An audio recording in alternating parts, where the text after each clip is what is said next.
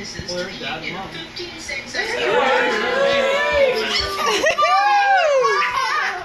Scheduled this once, waiting for the decisions last year from the Sixth Circuit Court, and when it fell through, we had to revoke our plans. And oh, what matters, Rich? Oh,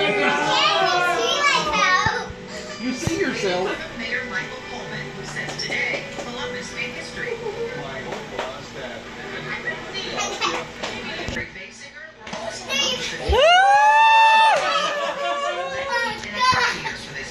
All right, one more. God bless you, girl.